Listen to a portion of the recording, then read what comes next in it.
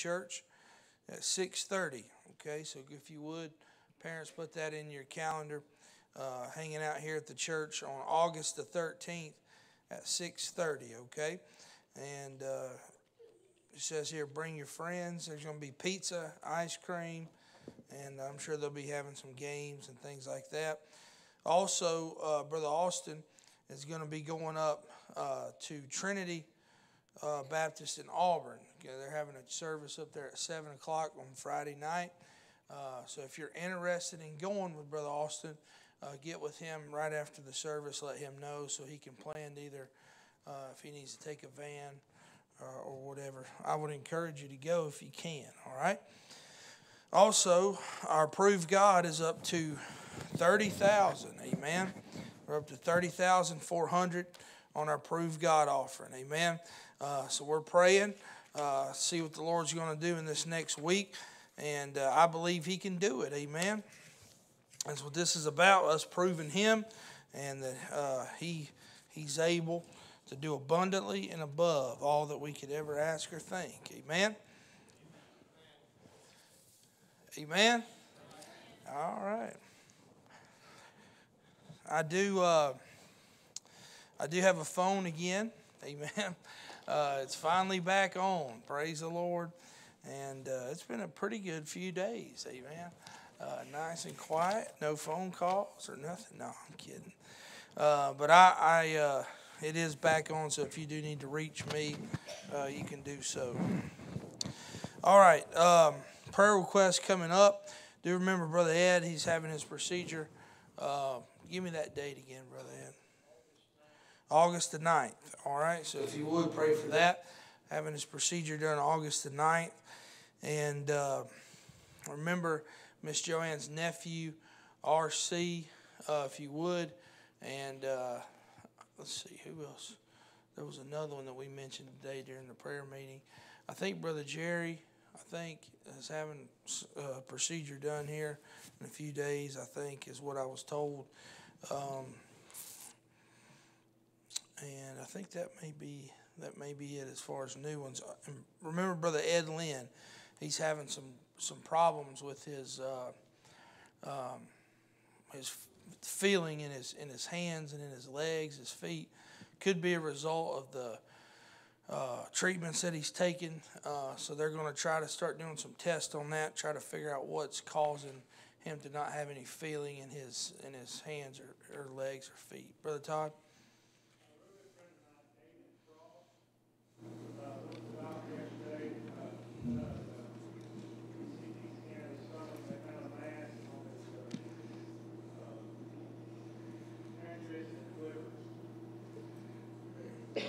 remember Brother Todd's friend, Brother Todd's name, David Frost. They uh, found a, a mass in his in, in his stomach. So if y'all would, in his liver, right, pancreas and liver.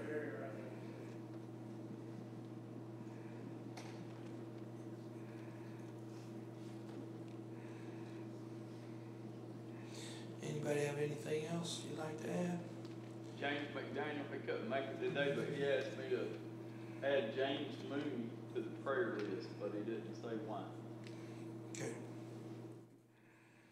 James Mooney, friend of James McDaniel.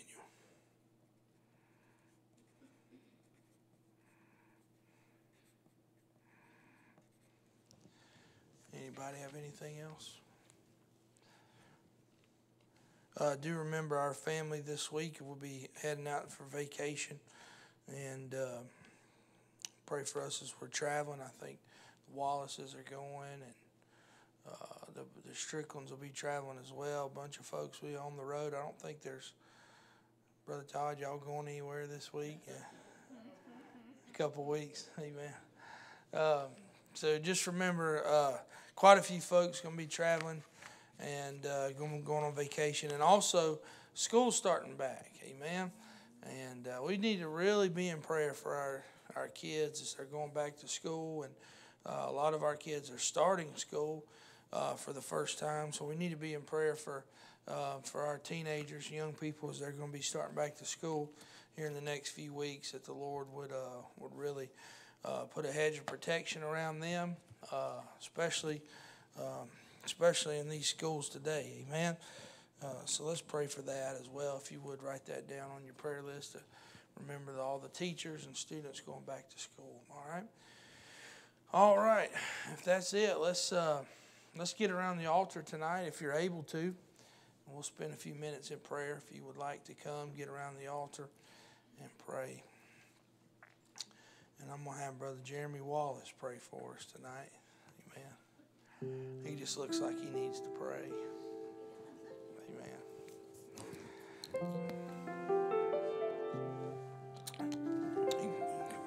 Take your time, no hurry.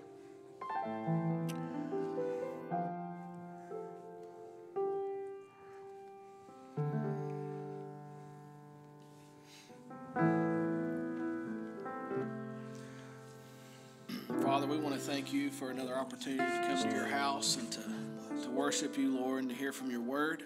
Lord, I pray that we'd never take that for granted. I pray we'd always appreciate that and the fact that we're free to do this. And Lord, I pray, Lord, uh, that you'd be with our missionaries around the, around the world, Lord, that they would uh, have your, uh, your power and your presence in their ministries. I pray, God, that you'd see, help them to see many souls saved. Lord, I pray for our church, Lord, and I thank you for what you've done here at Grace, the work you're, you're doing and continuing, Lord. I thank you, Lord, for the souls that we saw saved, Lord, during Vacation Bible School. And I pray that we continue to, uh, to see souls saved and baptized and, and uh, get involved with, in your church and serving you, Lord. God, I pray for the ones that are uh, having health problems, Lord, and procedures done the next week or two, Lord. I pray for Brother Ed, especially, Lord, that you would uh, be with him, his, be, be with his heart, Lord, and be with the doctors. Give him wisdom, Lord, to handle everything properly and everything would go smoothly in that situation. Lord, I pray for Brother Ed Lynn that the doctors would be able to, to get his uh, feelings straightened out in his, in, his, in his body and his hands. And Lord, I pray that you would uh, meet with us tonight. I pray that you would anoint Brother Jesse, Lord, when he stands to preach. Uh, Lord, we, he would be filled with your spirit and your power, and that we'd all get some encouragement and get some help tonight, Lord, that'll uh, help us to be better Christians and help us to serve you better. Lord Jesus, we love you. God, we thank you for everything you've done for us. Pray, God, that we'd never take you for granted. Pray, God, we'd always be true to you. Pray we'd always make decisions, Lord, based on your, uh, your will, Lord, and your word. And I pray, God, that you would continue this work. We love you. In Jesus' name, amen.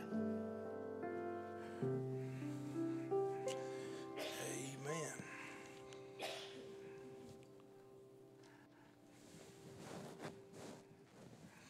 Let's turn to Exodus chapter number 25 tonight. Exodus 25.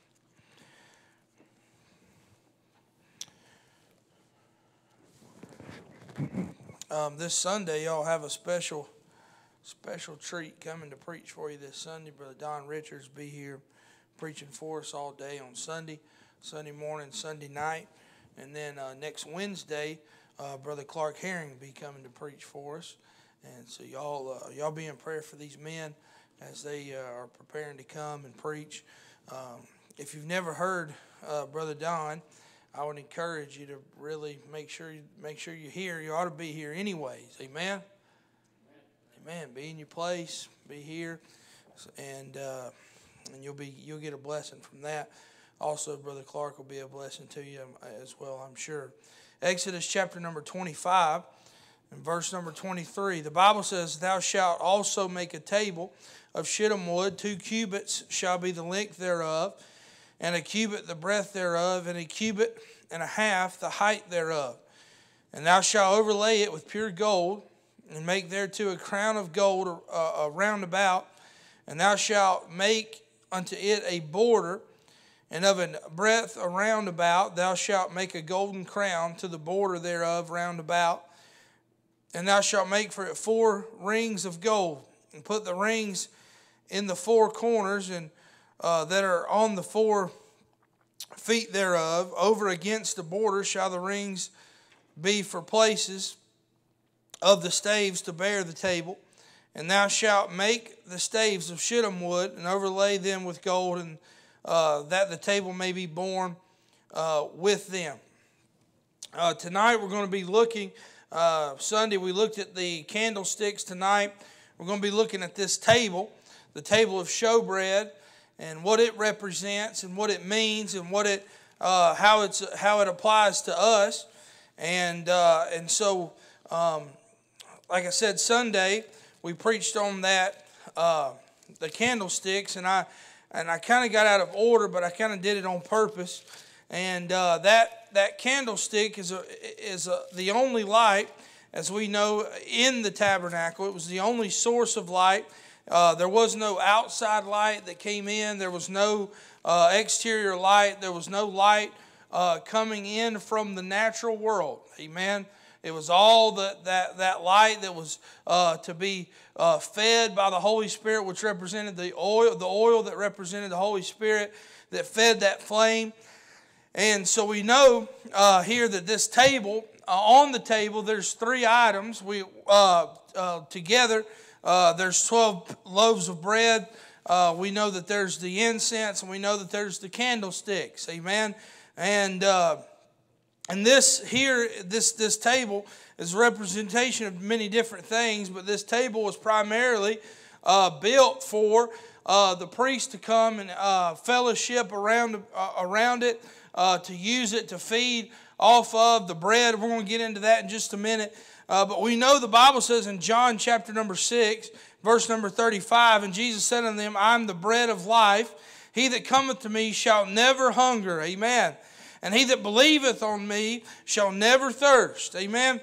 Uh, so we do we see there that this bread uh, is this bread in verse 48 of chapter uh, 6 it says i'm the bread of life. Amen. In verse 51 i am the living bread which came down from heaven. If any man eat of this bread he shall live forever.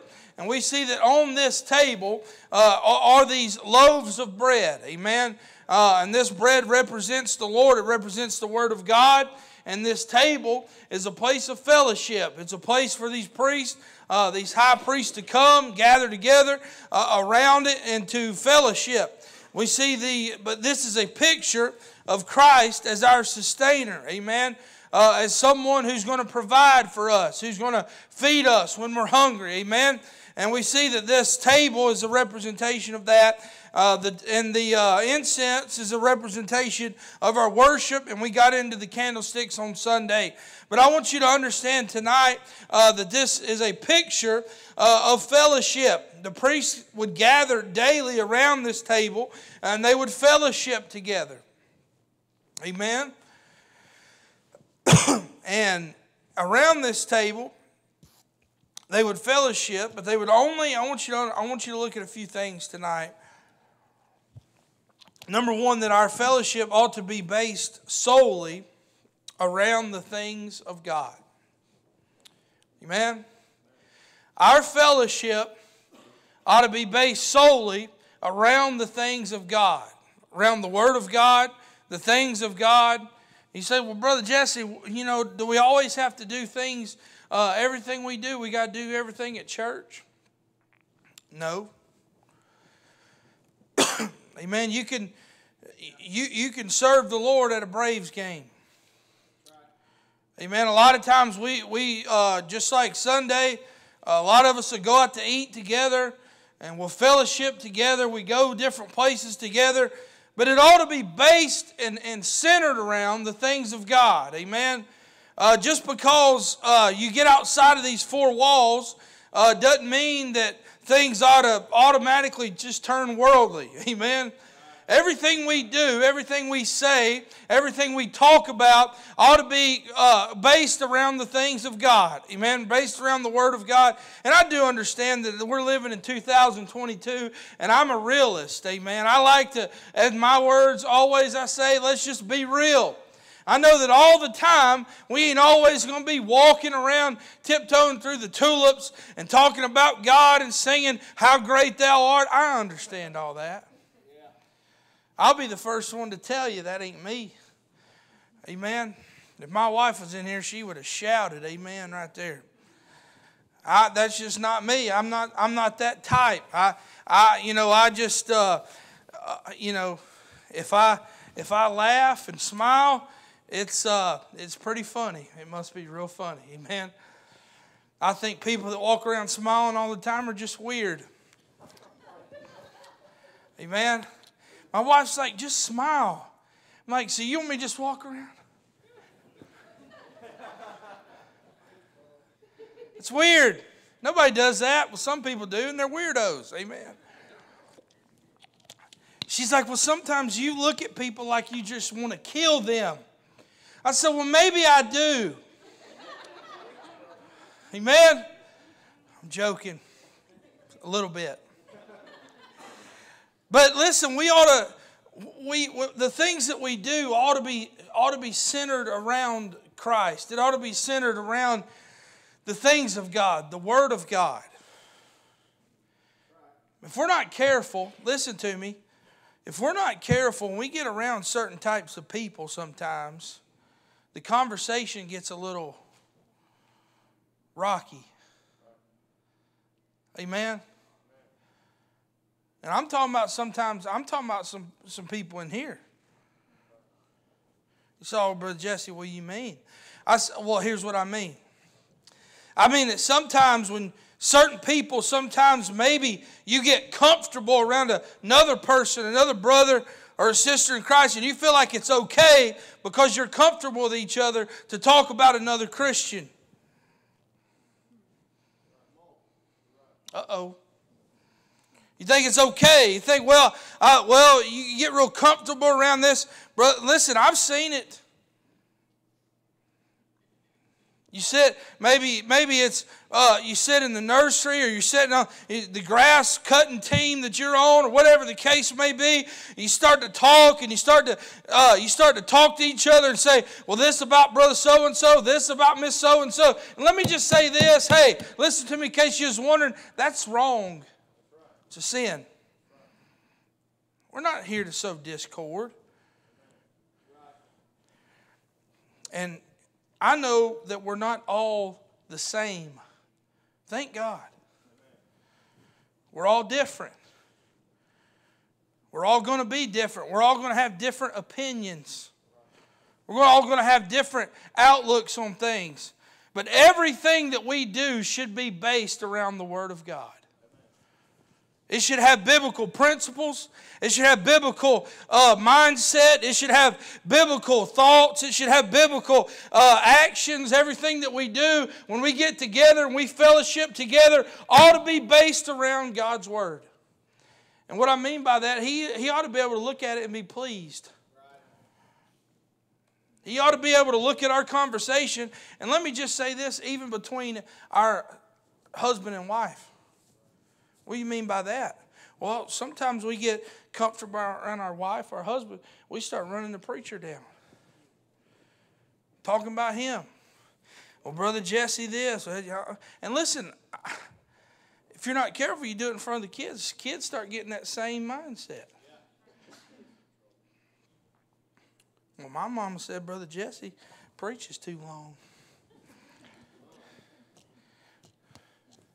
My, my daddy said he don't preach long enough. Amen. I know, brother. I know how brother Benny feels about that. Amen. He don't tell anybody. He just tells me. Amen. But if we're not careful, listen, that can that can destroy, destroy, destroy our church. Would y'all agree that we've got a good thing going? Would y'all agree that we've got some uh, a lot of good things that are going on at Grace Baptist Church? I mean, the Lord's saving souls. He's changing lives. People are joining our church. People are turning their lives around uh, for the Lord. And listen, if we're not careful, if we're not real careful uh, about our fellowship and the things that we're saying about each other and the things that we're, how we're treating each other, hey, it could really run some people off real quick.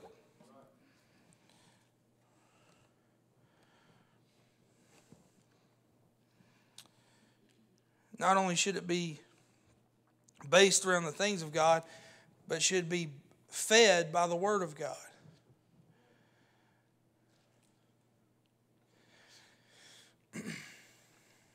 you know,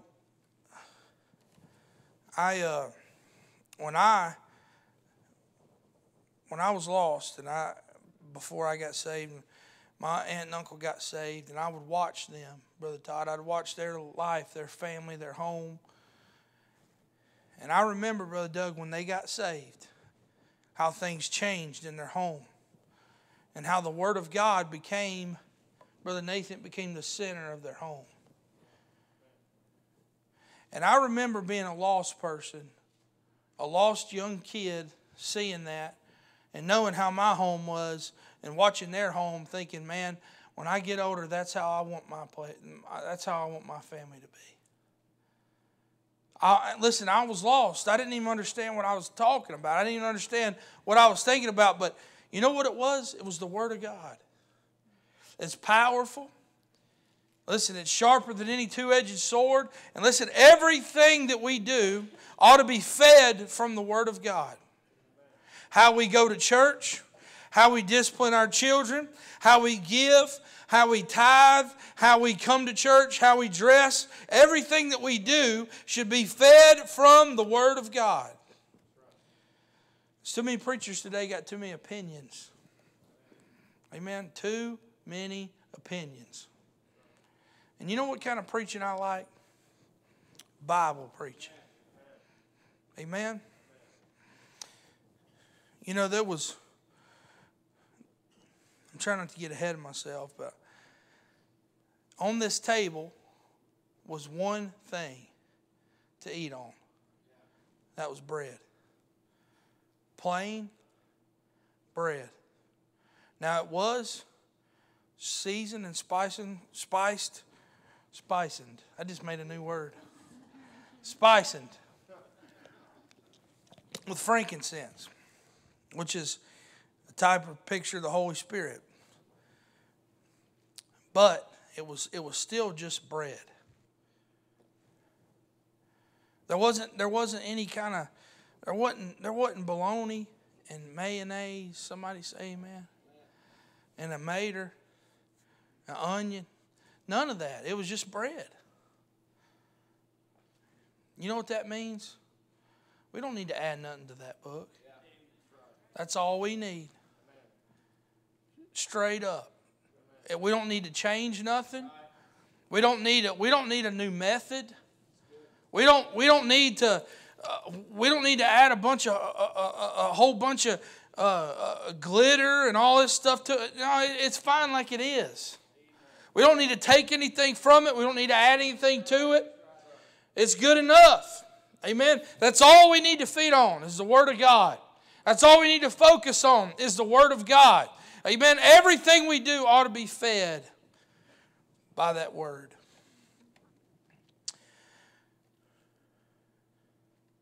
Our fellowship ought to be based around the things of God. Our feeding should be based on the bread of life.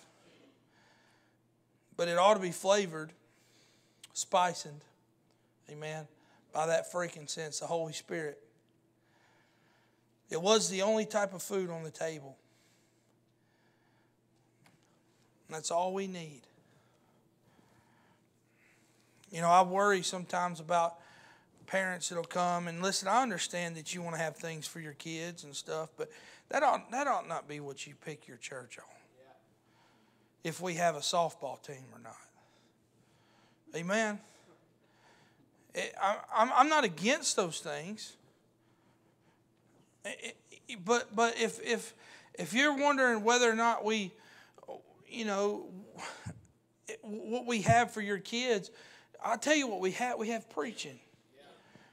We, we take our kids to rallies where they preach. They do fun stuff. They do skits. We have fun. It's all good. We listen. We have fellowships. We have outings. We do those things, but they're going to get preached to. It don't matter if it's going down the road in the van on the way there. They're going to get preached to. At some point during the night, before we leave, we're going to preach to them. We're going to tell them about the Lord. We're going to tell them about purity. Amen. We're going to tell them about the things of God. We're going to tell them how good it is to serve the Lord. Amen. And that's, that's what we do. That's what, it, that's what a church should do. That's what we should be based on.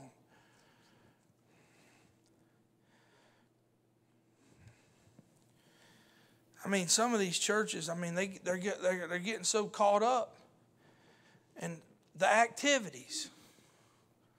So many activities.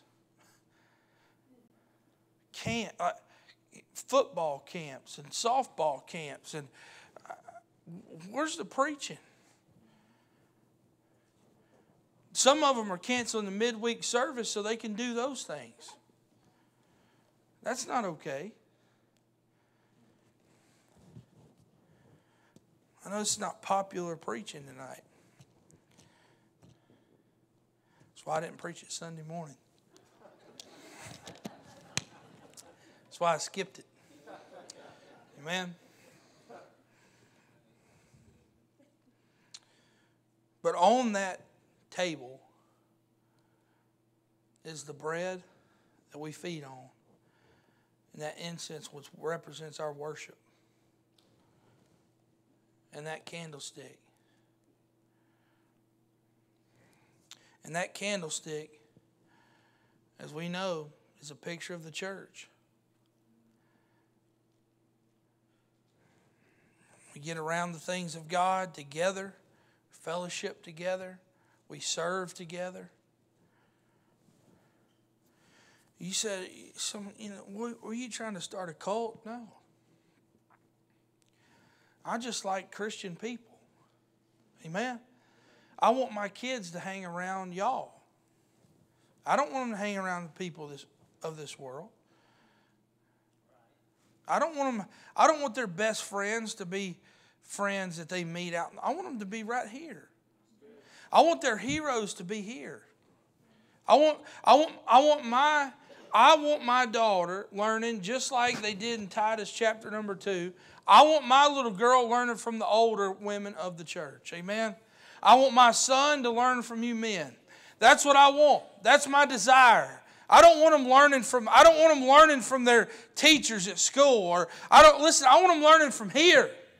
From the church. Because why? That's how God set it up. And we've gotten a long ways away from that. I want my sons counselors and my son's people that he that he learns and gleans from to come right from here.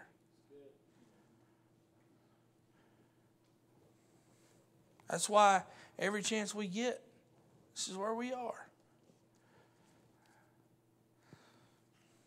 Sunday night, we everybody left, and I I just sat and sat in here and I just thought about how good the Lord's been to this place and how good God's been to me and my family and my home. And, you know, I, have always heard a lot of people say that my life don't revolve around church. Mine does. And I don't, I don't regret that. You say, well, you want me to want my life to, you do whatever you got to do. But I know that mine does. And I love it. I love it. My kids, they run through these halls and they play. They know every nook and cranny of this place. I love that. They know where all the snacks are. I'm sorry, Sunday school teachers. If you're missing snacks, it's probably my kids. If your if your animal cracker stash is going down, it's my children. I know Miss Cindy's been robbed a few times. But that's that's what I want. Amen. I want my kids to represent here. I want my family to be a picture of this place. Why? Because it's a good place. It's a great work. Amen. We shouldn't be ashamed of it. And we shouldn't be ashamed to fellowship with each other. I'm going to say this, and I'm almost done. Dylan, if you would come. It would do you some good. It would do you some good to make some friends with the people you go to church with. Because some of you come in here on Sunday morning, Sunday night, Wednesday night, y'all come in, sit here, and then you leave. It'd be good for you to just meet somebody. Meet another family. Go out to eat. Fellowship. Because I promise you this those are going to be the ones when the times get hard, times get tough.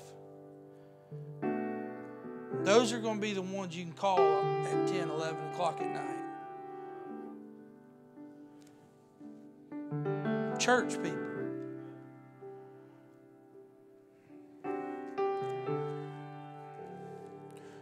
Brother Josh, Jessica, if I can, I'm going to testify real quick, if that's okay. And I'm not saying any of this because it's because it's me, but the other night I get a text message on a Sunday night about 8:30. I was wondering if you could talk. I said, "Well, do you need me to call, talk, or do you need me to come over, kind of talk?" Brother Josh said, "Well, if you could, if you're in the area." Can I be honest? I wasn't. I was on the other side of Monroe. But I said, Yeah, I'm in the area. Drove over there. And at about 10 o'clock on a Sunday night, I got to lead Miss Jessica to the Lord in their living room. She'd been having some doubts about her salvation. You know, when I walked out of that house, I said, Lord, thank you for letting me be the one that take a call. Thank you for letting me be that friend. Thank you for letting me be the one that is a part of their story for the rest of their life. The story that now their kids are going to know that night when the preacher came over that that's the night mama got saved in the living room. And that's going to be their story. Said, Lord, thank you for letting me be a part of that story.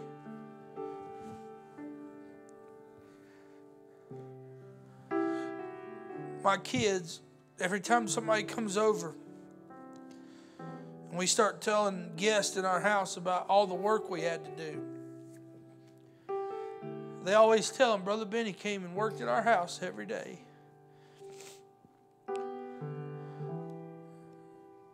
I'm thankful for that. That he's a part of their story.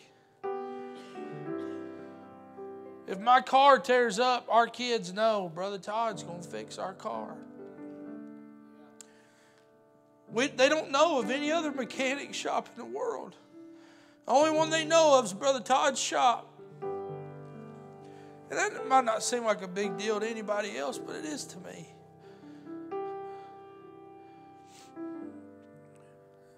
And your teenagers ought to know that Brother Austin is their Sunday school teacher. And Miss Peyton is going to love them. She's going to be there for them girls. Brother Austin's going to be there for them boys.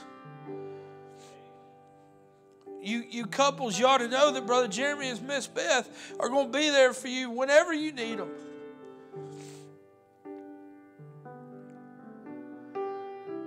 Those of you that are in Brother Ed's class, you ought to know that, hey, if something happens, I need something, I can call him.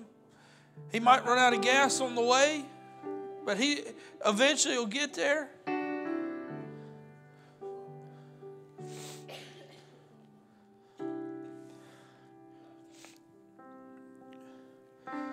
I just want to say that y'all don't know how much it means to me to have this church as my family. Because you see, when I when I need a dad to talk to, I don't I can't just pick up the phone and call mine. Talk to him about spiritual things. I can't. But there's men in here that I do. When I'm feeling down, like I was last night, pulled up in Brother Ed's yard. I didn't even have anything to say, didn't even know what to say. I just pulled up, went inside, sat down. That's what you need. Y'all need people like that in your life that you can fellowship with, that you can feed with, that you can say, hey, let's go one more mile. And then when you can't go one more, they're going to look at you and say, hey, let's go one more mile. That's what we need fellowship around the table, around the things of God, around the Word of God. And let it be honoring to Him. And I understand that some of you didn't grow up in church. And some of you, a lot of you didn't grow up in a church like this. I'm just going to say this to those of you that didn't. That's just the kind of church we are. That's just how we are. You know, I, we were driving home from Kentucky a few weeks ago. I was driving home by myself. I bet Brother Todd called me 10 times. You still awake? You okay? If anything happens, you, you let me know. I'll come meet you. Nobody else did that. That's what we need. Amen. We need that closeness. How good and how pleasant it is for brethren to dwell together in unity. It's like the anointing, he said. Amen. That's what we need. Let's all stand tonight. Here's the invitation. Here's the invitation tonight. I'm, Open up the altars. I want you to ask yourself tonight have I been have I been what I need to be for others? Or maybe you're in here tonight and you need somebody like that in your life. I want to invite you to come and just ask the Lord. Say, Lord, let me be what I need to be for others. And if you need somebody, won't you come and ask the Lord to put somebody like that in your life as He plays? Why don't you come? Folks are coming. Lord, help me to be what I need to be for others. Help me to fellowship, be faithful in the things of God, around the Word of God. Let my conversation be pleasing unto the Lord. When I'm around other folks at church, whenever we're talking, let, let our conversation be pleasing to the Lord. Don't let it be anything that would hinder the work of God, that we would just uplift each other and other people.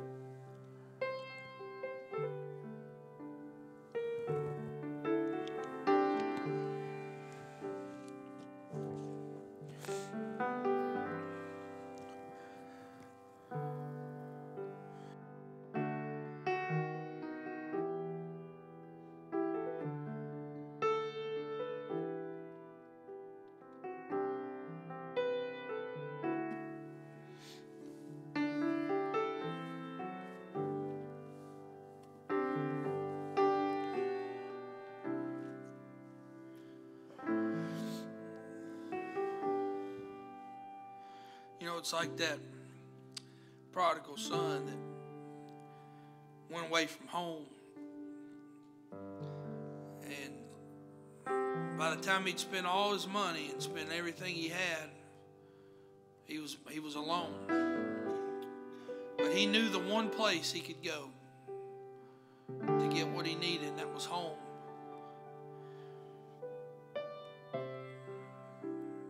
And I'm glad this is my church home.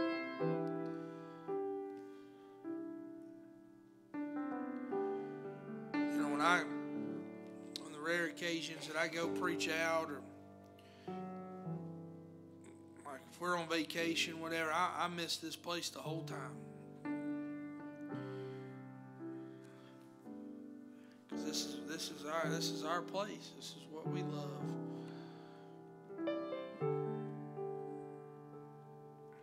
Dear Heavenly Father, we love you tonight. We thank you, Lord, for the good spirit we've had in here. Thank you for the Word of God, Lord. I, Lord, I thank you, Lord, that we can look at it and see where it applies to us. I'm, I'm thankful, Lord, for this table of of showbread, Lord, that we that, that holds up our worship, it holds up our fellowship, it holds up our service, it holds up the church. And Lord, I pray, God, that you'd help us to hold each other up and support each other. Lord, I, I ask you, Lord, that you would just uh, go with us this week, the rest of the week, and be with us on Sunday. God, be with Brother. Brother Don as he comes to preach. God, that you'd fill him with power and unction. I know that you will. God, that you'd use him. Fill him, Lord. Give us a good day on Sunday here at Grace Baptist. And Lord, I thank you for the good spirit we've had in here. And thank you for our visitors tonight, Lord. I, I'm honored that they would come and be a part of our services here tonight. And Lord, we sure do love you. We thank you and praise you for your many blessings on us in Jesus' name. Amen. Amen. Again, thank y'all for coming, coming back. If y'all, y'all, uh, I don't know if a lot of y'all probably heard Brother Moore, Dwayne Moore, preach. That's his cousin. Amen. He told me that, and I said, I see the resemblance. Amen. You're better looking. I'll give you that, brother. I'll give you that.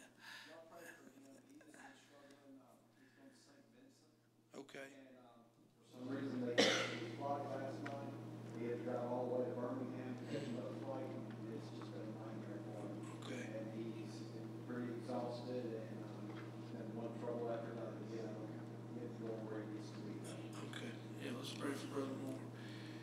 And good to have the, I'm trying, I don't, I'm gonna pronounce it wrong.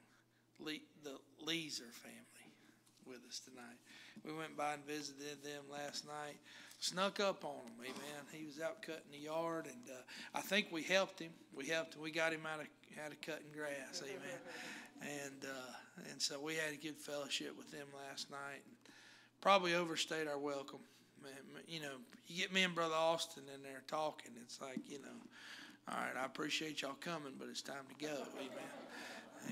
But no, I'm glad that they're here with us today, uh, tonight, and came back to visit with us. It was with us. Uh, Miss Leisure was with us all week for VBS, pretty much.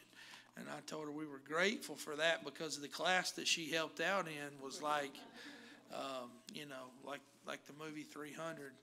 Uh, you know, they were trying to just hold them off. Amen. And uh, so, yeah, we, we appreciate her helping out there. But uh, anyway, y'all be here Sunday, okay? And uh, I know um, just uh, growing up and experience, I know when the pastor's out of town, it's kind of strange and different. But Brother Don Richards is going to do a phenomenal job. I promise you. I promise you. You don't want to miss hearing him preach. Uh, he's a man of God, and he's uh, he's going to bless you. Amen. And then uh, Wednesday night, Brother Clark will be here, so y'all be faithful to be here, okay? Uh, be faithful to come and be a part of those services, all right? Uh, Brother Austin, let me see you real quick after church. Is, is Christopher here? Christopher's not here, okay. Okay, all right, I'll talk to him later then, amen? All right, Brother Doug, yes. Um, y'all can keep my oldest, um, in your prayers. Yes, ma'am. Um, and his fiance, they're getting married in October. Okay. And I'm very happy, I know they both do good, but God is not in the midst of Yeah. that. I've seen marriages where God is not in the middle, she said that last. Yeah. Y'all can just keep it. Yes, ma'am. Yes, ma'am. Pray for her oldest son. Brother Doug Everett, would you dismiss us in prayer?